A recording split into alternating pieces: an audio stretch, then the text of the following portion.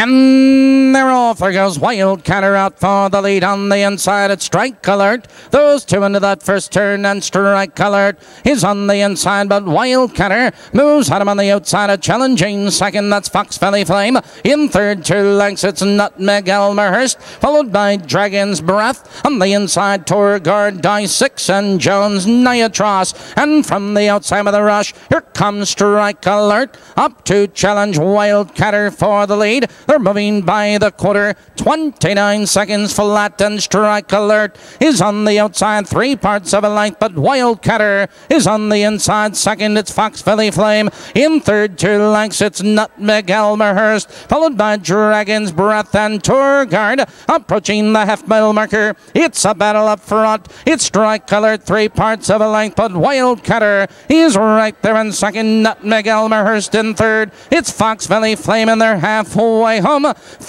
57 and 1 into the clubhouse turn. It's alert on the outside. On the inside, it's Wildcatter, followed now by Fox Valley Flame, Nutmeg Almahurst. He's set to go three wide. Dragon's Breath is on the move. And from the outside, Nutmeg Almahurst. It's Wildcatter in second. Dragon's Breath. On the inside of horses, Fox Valley Flame. And from the outside with a rush, Nutmeg Almahurst. Now to take command. Here comes Dragon's Breath. Charging upon the outside. On the inside of horses, Wildcatter and Fox Valley Flame. Into the far turn they race. It's Nutmeg Almahurst with the lead. It's Dragon's Breath in second and Fox Valley Flame. Here they come, turning for home. And your leader all alone as they come to the wire is Nutmeg Almahurst. A late move on the far outside by Fox Valley Flame. Your leader, Nutmeg Almahurst. Nutmeg Almahurst. Fox Valley Flame at the bar.